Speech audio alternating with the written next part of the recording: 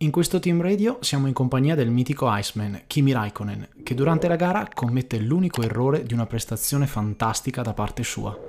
Durante la gara in regime di safety car attraversa all'ultimo la linea di corsia d'entrata della pit lane, azione notata dai commissari che sanzionano con 5 secondi di penalità il finlandese.